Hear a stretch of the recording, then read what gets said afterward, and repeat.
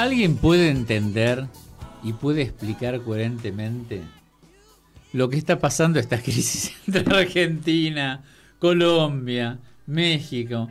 ¿Qué problema teníamos con Colombia? Ninguno. Ninguno, ninguno, para nada. y con México tampoco. Los presidentes se venían agrediendo nada más. Es una sobreactuación, ¿eh? es una exageración que, bueno, después terminan en estas disputas eh, diplomáticas que... Estamos rompiendo relaciones. Colombia saca al embajador de Argentina, echó a todos. Y sin tener ningún conflicto bélico de por medio, que Dios no quiera que pase, pero esas son situaciones muy extremas. En Eso es lo que te muestra que Argentina es absolutamente imprevisible.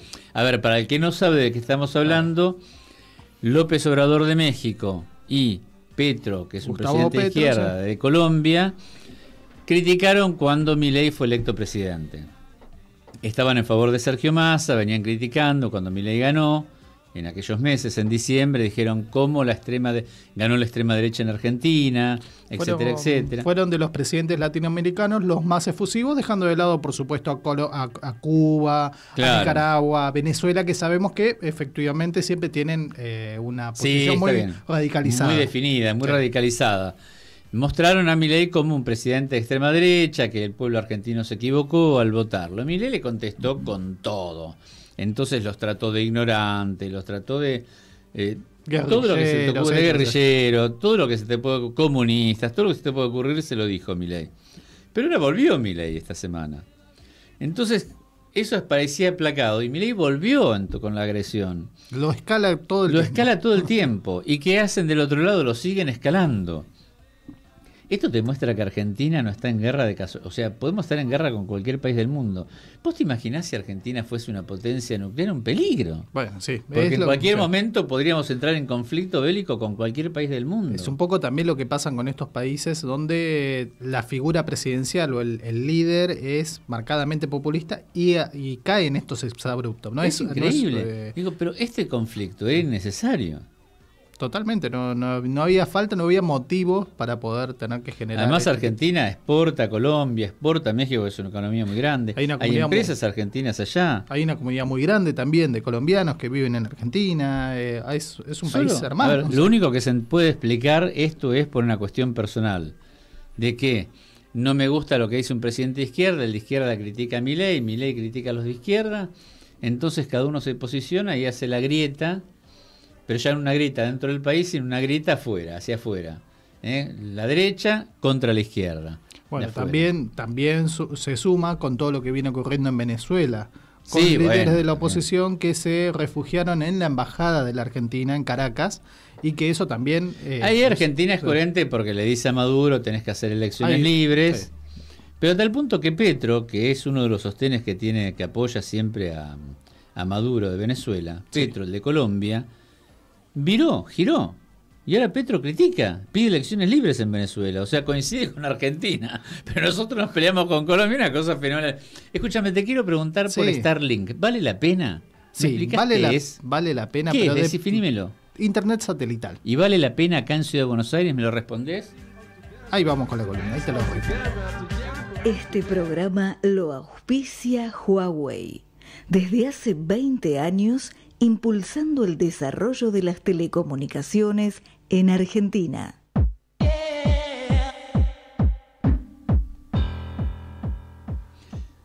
Y en este país, en este país bastante complicado con cuestiones diplomáticas y de todo eso, también ocurren cosas y lanzamientos tecnológicos destacados como el de Starlink. Que está prestando servicios ahora. Ya está prestando servicios en la Argentina. Si vos te ibas para Chile o para Brasil y te traías la antena y pagabas el servicio en Brasil o en Chile, lo podías seguir usando acá en la Argentina, pero no de forma oficial. La gran ventaja es que ahora te lo venden y te lo facturan en pesos, lo tenés disponible acá en la Argentina y vamos a hablar un poco de qué se trata Starlink. Starlink es la empresa de Internet satelital de SpaceX. SpaceX es, la, es la compañía aeroespacial de Elon Musk, es la que tiene los cohetes reutilizables, es la, que, la empresa que envía satélites a la órbita baja de la, de la Tierra, una de las compañías aeroespaciales pioneras en este servicio, porque ¿qué es lo que hace? Al utilizar cohetes reutilizables, al emplear cohetes reutilizables, lo que hace es abaratar muchísimo el acceso al espacio, el colocar el kilo de eh, material aeroespacial al espacio, baja muchísimo el costo. Entonces, ¿qué es lo que hizo Elon Musk? Además de subir y poner en órbita satélites comerciales o gubernamentales, por ejemplo, eh, el satélite argentino que, está en órbita fue puesto con un, un cohete Falcon reutilizable. También lo que suelen hacer, eh, lo que suele hacer Elon Musk es por su empresa Starlink, pone en órbita un montón de satélites para proveer Internet desde, de forma satelital. Hasta ahora, la Internet satelital, así como la telefonía satelital en sí, era muy cara, porque utilizaba satélites muy costosos que van por otra órbita, no en la órbita baja, sino en una órbita más alta. Estos van en órbita baja. Estaban en órbita baja y de hecho forman parte de un espectáculo nocturno, porque muchas veces si vos con una aplicación querés ver dónde están los satélites, podés ver el reflejo y, de hecho eso genera muchos problemas para los astrónomos, porque dicen, se nos cruza cuando estamos mirando el cielo. Bueno, las cosas pintorescas que tiene el trencito de satélites, le dicen. Bueno, esa constelación de satélites lo puso Elon Musk a través de SpaceX para proveer el servicio de Internet satelital Starlink. Starlink está presente en todo el mundo, lo que pasa es que por una cuestión de densidad eh, de, habitantes, el servicio prepondera mucho más el hemisferio norte que el sur, porque en el hemisferio norte tenés todo Asia, tenés Europa, tenés todo Estados Unidos, y en el hemisferio sur tenés solamente lo que es, eh, no es poco, América del Sur y África, pero comparativamente tenés mucho más para y Oceanía, nada más. Y Oceanía, y tenés mucho más para ofrecer en el hemisferio norte. Lo cierto es que hasta... Menos habitantes, más pobres y más agua. Y más agua. La ecuación no da. Pero, sin embargo, eh, el servicio de Starlink estaba disponible hasta, hasta este mes en todo el continente americano, incluso en Chile estaba disponible. Pero yo con Starlink puedo tener todo, telefonía, televisión, todo. es una antena de internet y con internet pues podés tener conexión a internet, llamadas, eh, streaming. ¿Y acá quién se lo contrato a Starlink? Si yo quiero tener el servicio Starlink en mi casa, ¿quién se lo contrato? Mira, lo tienen en tres revendedores. Eh, está eh, Frávega, está Mercado Libre y está Cetrogar. Son las tres empresas eh, responsables de la distribución del servicio. Bueno, el servicio es básicamente, vos tenés que un costo inicial de 650 mil pesos. Porque vos lo que tenés que hacer es hacer un depósito de 62 mil pesos, 62 mil 500 pesos. Eh, después tenés un pago único de 500 mil pesos por la antena, por todo el equipamiento, la antena y el router. La antena la pongo fija en mi casa. La ponés fija podés ponerla en un lugar, pero a su vez vos te podés llevar la antena. Y me si voy vos a Mar del Plata veranear y me llevo la antena. Estás en tu cabaña. Eh, en el medio de la selva, en el campo, me llevo la antena. Y te subís a la camioneta, o subís la antena y te la, te la pones en otro lugar donde estás acampando. ¿Y la antena tiene alimentación con electricidad o tiene batería? Eh, tiene, tenés una alimentación de red, pero eso llevas un generador y ya está. Ya está. Así que no, no hay problemas con eso.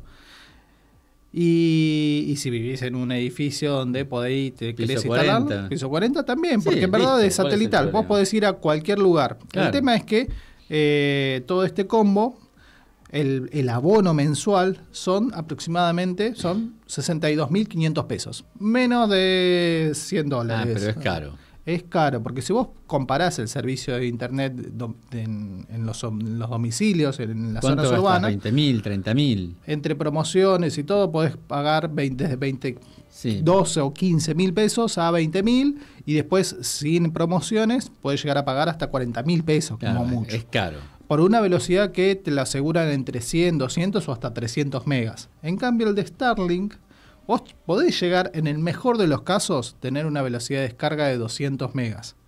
Entonces, estás un poco más limitado en cuanto a la velocidad, pero eso, a no tener nada de conectividad. Ahora, entonces es mejor, por ejemplo, para el campo que para centros urbanos. Totalmente, no tiene punto de comparación en los costos contratar Starlink si vos tenés eh, los servicios de fibra óptica o de banda ancha en los en, Si estoy en, el medio del campo me conviene Starlink. Esto es para aquellos lugares donde tenés una cooperativa que te ofrece internet por aire y eh, no es no tiene buena velocidad e incluso te ata al domicilio porque te dan internet y te dicen sí, pero en tu casa. Claro, acá no. Acá con la antena vos tranquilamente la podés tener en tu casa, la desenchufás. Pero insisto, ¿la antena tiene una batería? No, la batería vos la tenés que, lo, tenés que llevar con un generador.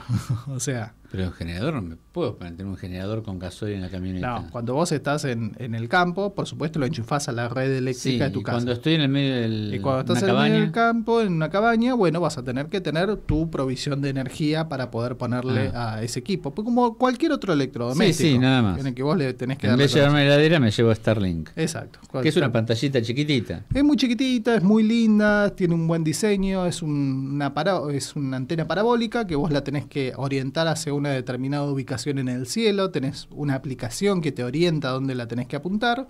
Eh, básicamente te da conexión en cualquier parte del mundo. Un detalle es, eh, este tipo de servicios era el que utilizaba, por ejemplo, los ucranianos en la guerra Ucrania-Rusia, eh, porque los, es un servicio de conexión a Internet portable que lo puedes llevar a cualquier lado. Eso es un ejemplo muy práctico de cómo, cómo se pudo usar tanto en una ubicación fija como en una ubicación móvil. Lo que sí te diferencia también en una conexión tradicional es que es la latencia, es el tiempo en el que vos mandas una orden, el tiempo de respuesta, exacto. Eh, cuando vos haces una videollamada y hablas y, y, te terminas pisando con la otra persona, ese es un buen ejemplo de latencia. En este caso, al tener que ir a un satélite, es más lento, tenés más tiempo de latencia. Vos tenés un tiempo de latencia, para que tengas una idea, de 11 milisegundos en una conexión hogareña en, centros urbanos y con Starlink lo llevas a 50 o 60. Ah. Eh, ¿En qué se nota eh, la deficiencia en esta conexión, en la latencia, en la demora? Si quieres jugar en línea, si quieres jugar a, Fortnite o a estos juegos por internet, siempre vas a llegar tarde.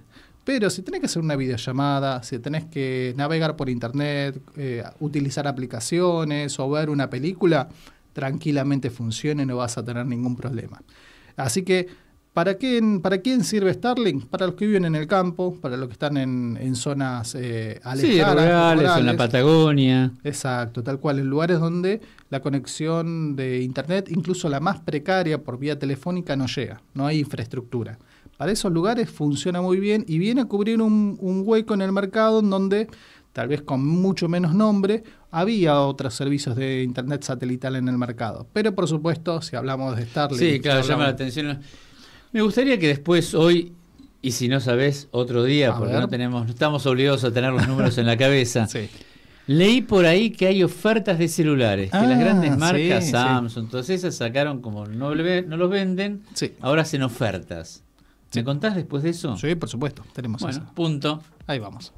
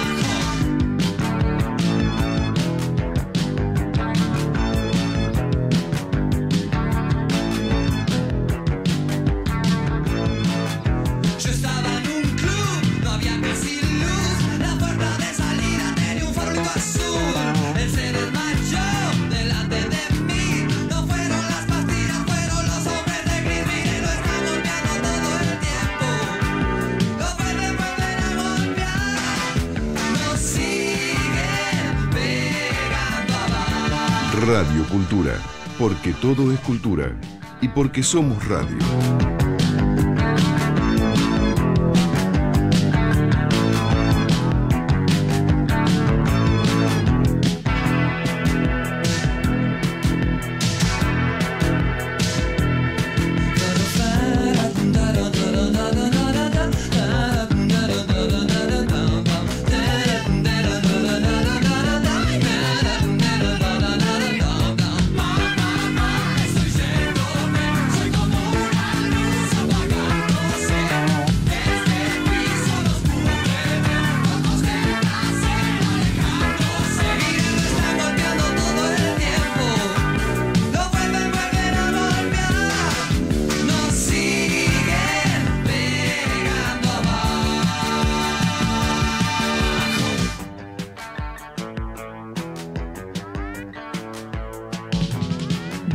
Cultura, porque todo es cultura y porque somos radio.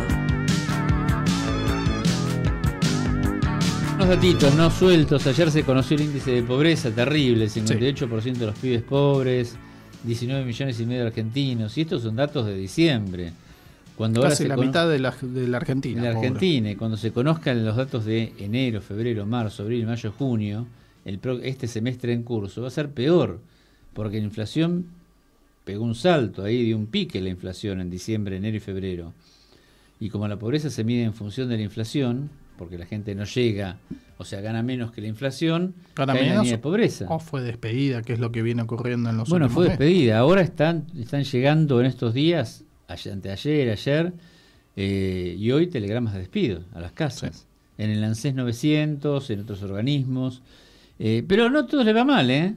Porque a muchos los despiden, pero vos fijate que en el ANSES, que despidió 900 personas, es un hervidero el ANSES, ascendieron a Enrique Bucio. ¿Sabes quién es Enrique Bucio? No me suena. Enrique, no, a nadie le suena. Enrique Bucio es el que había firmado la doble jubilación de Cristina Kirchner. Ah, sí. Y no la apeló. Me acuerdo de una causa judicial no apeló el ANSES. Se hizo y lo dejó pasar. Bueno, ese, lo están premiando. Y mm, bueno, esas cositas ¿no? que, que, hacía este hombre. Osvaldo Giordano, cuando Milei lo nombró Osvaldo Giordano, el cordobés, sí. lo relegó a Bucio. Pero como lo echaron a Giordano, ahora lo ascendieron en el ANSES y lo colocaron como secretario legal y técnico de ANSES, lo premiaron. Qué loco, qué, las vueltas de la vida. Es raro, ¿no? Es rarito, porque te premian por beneficiaste del kirchnerismo y te premian, y a, los, que trabajan los echan. Vamos a ver qué va a pasar. a ñoquis también, ¿no? Obviamente, que está bien echar a ñoquis, pero digo, es raro esto. Hay todo, de vuelta todas las situaciones que tiene el gobierno es una sobreactuación sobre muchas de las cosas que hace. Sí, porque dice voy a echar a 70.000 y echa a 15.000. El mismo gobierno lo dice. No, no son 70.000, son 15.000. Y después no son 15.000, son menos. Y después los quiere echar, pero no sabe cómo hacerlo. Tiene la idea bien de a los ñoquis hay que echarlo. Todos compartimos eso, pero hay que echarlos bien.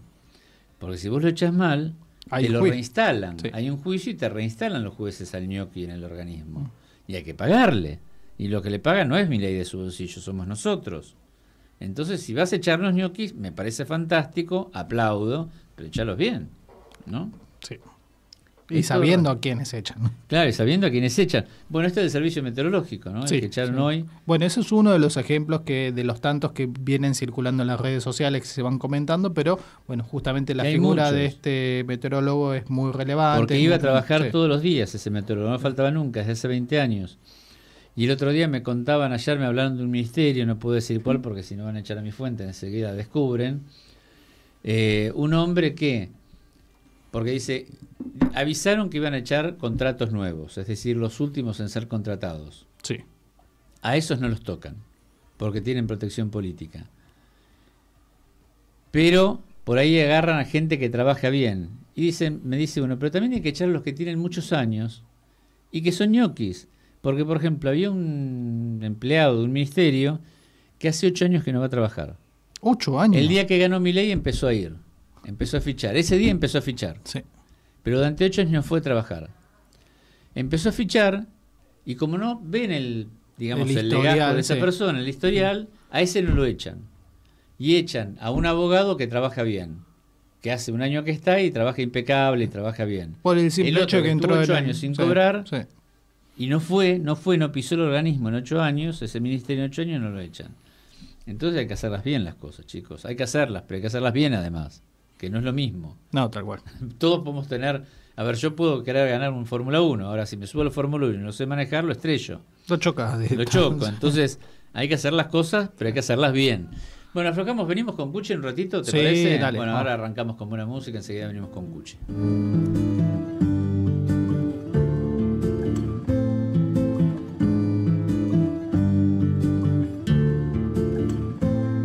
Suaviza mis yemas con su piel.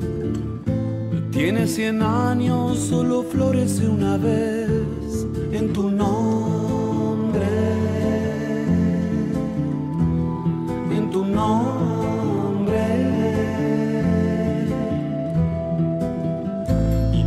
veneno más amargo que la hiel. Solo invocarte voy a convertirlo en miel, en tu nombre, en tu nombre.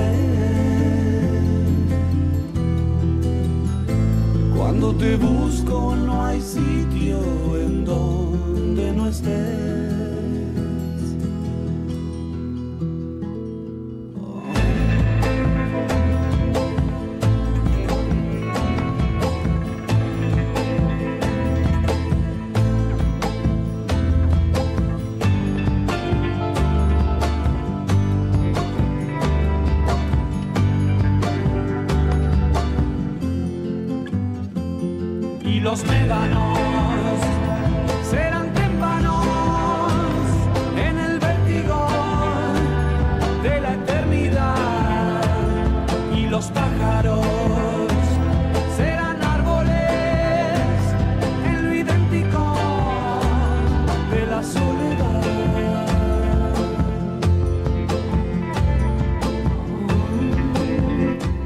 Hola Cuchi, ¿cómo te va?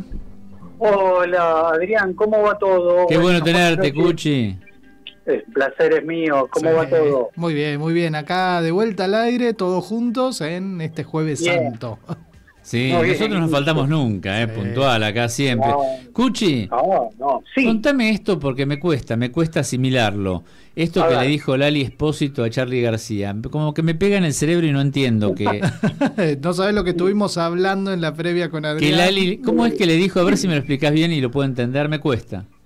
A ver, a ver, el tema es así. En las últimas horas, eh, Lali compartió en sus redes sociales una foto donde lo está saludando eh, a, Charlie. García, ¿no? Y, suena Bancate ese defecto, uno de los temas de, García solista, de Clicks Modernos.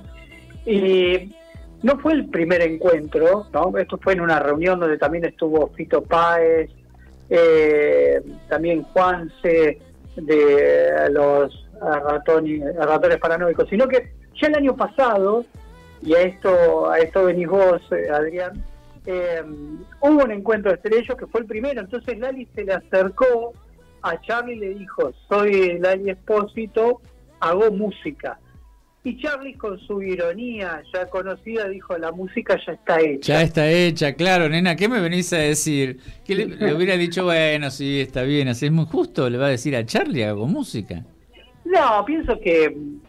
se quiso presentar se fue a presentar, antes de decir soy artista, soy cantante, hago música.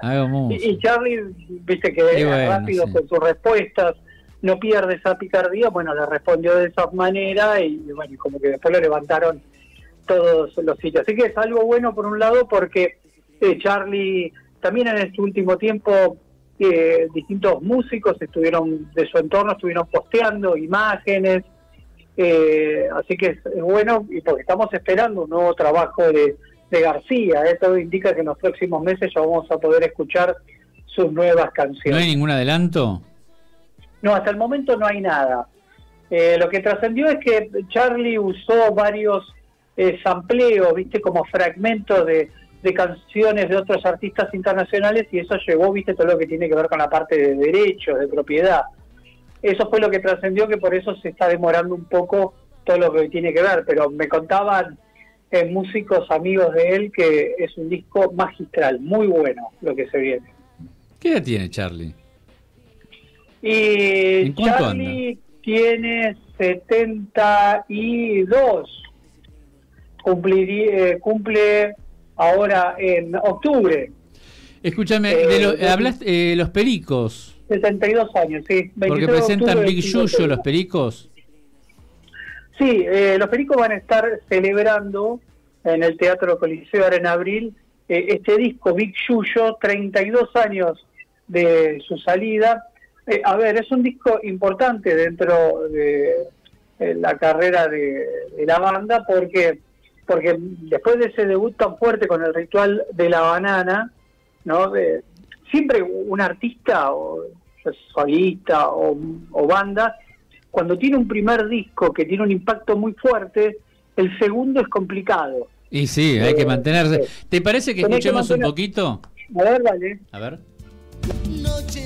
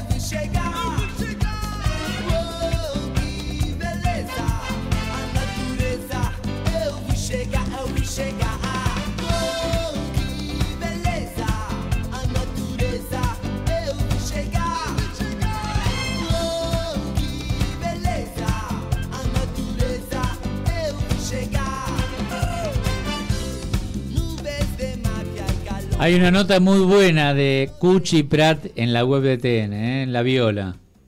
De paso hago la Eh, publicidad. Bueno, eh, 19 de abril entonces en el Coliseo los Pericos van a estar celebrando este disco, el cuarto eh, de su carrera discográfica. Y lo que les decía, como que ya encontraron, viste, el sonido que vos escuchabas y decías, los Pericos. Parte un disco que también más allá de lo que escuchábamos, vi llegar, también tiene Waiting, Melate, Hacé lo que quieras. O sea que un disco importante que, bueno, cuando salió to- todavía estaba el Bahiano como cantante, así que mm, va a estar bueno para ir a disfrutar de estas canciones, Adrián Guille. Eh, Cuchi, hacemos un poquito, vamos al recuerdo y escuchamos Air Supply, ¿te parece? Dale, ¿Eh? ¿Tenemos? a ver, ¿lo tenemos? A ver, ahí estamos. Sí.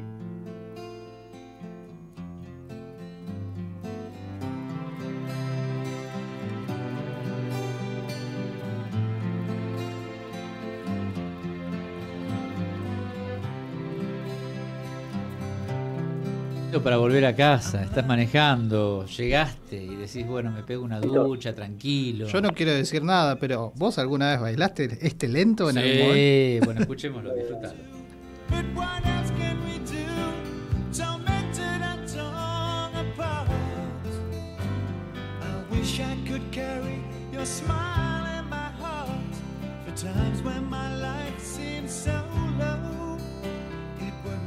But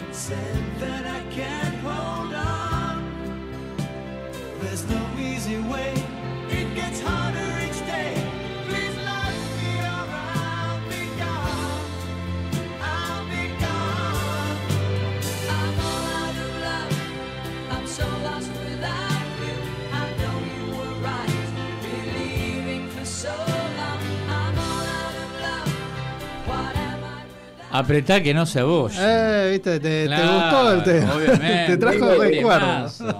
Estos temas traen recuerdos. ¿eh? ¿Vos bailaste Sí. esto, Cuchi?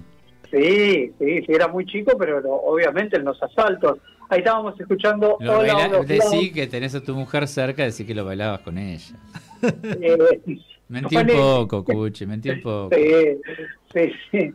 Eh, bueno, Air Supply que regresa a la Argentina, este dúo formado por Graham Russell y Russell Hitchcock.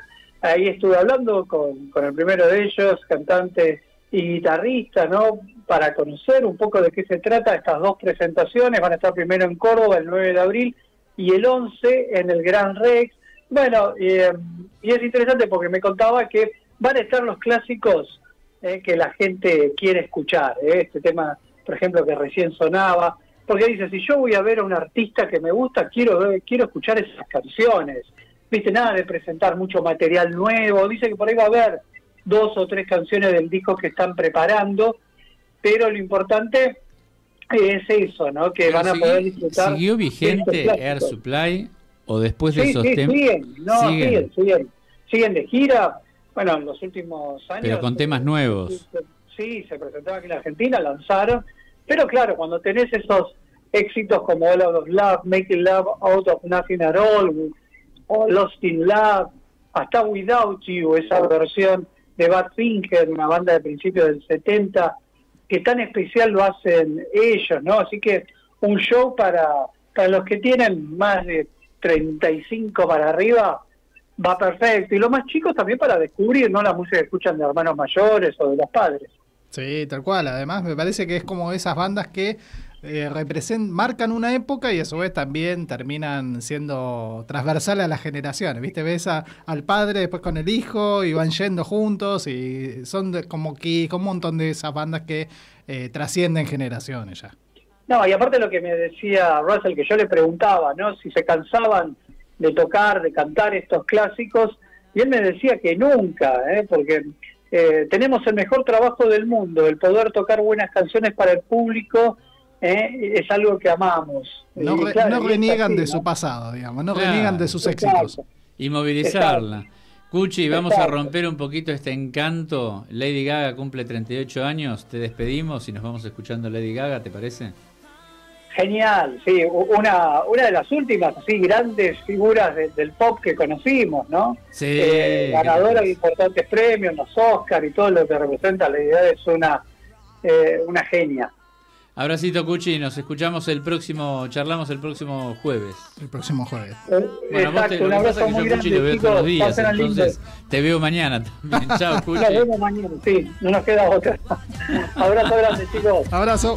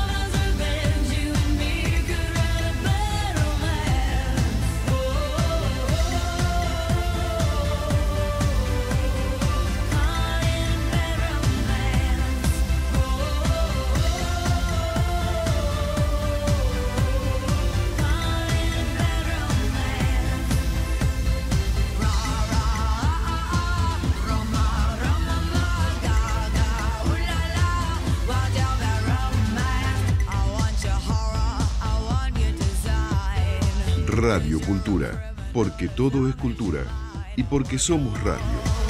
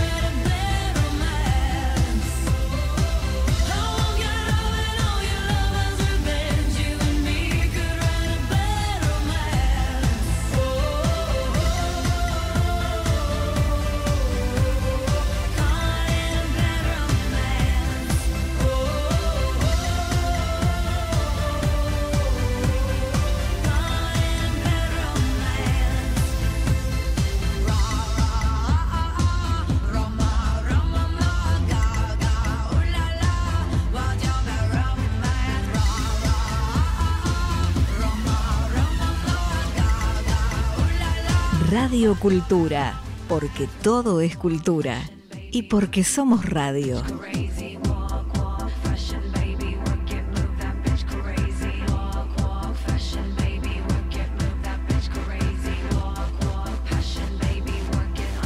¿Cómo viene la semana?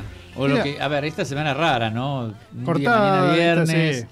feriados, es como un fin de semana larguísimo, pero la gente no le presta atención a la información. Hay que pero ver- los hay- hechos siguen ocurriendo. Sí, hay que ver todos los que salieron para la costa si llegaron porque había mucha congestión. Ocho la- horas para llegar a Mar del Sí. Plata. Uno decían, tardo más en, en ir a la costa que ir a Europa. algunos. Sí, claro. O sea, estar en la ruta y a y paso después los que van por la banquina, ¿viste? Que... Sí, es- A ver, chicos, a la, a la gente que está en la costa, no, a los comerciantes, no abusen.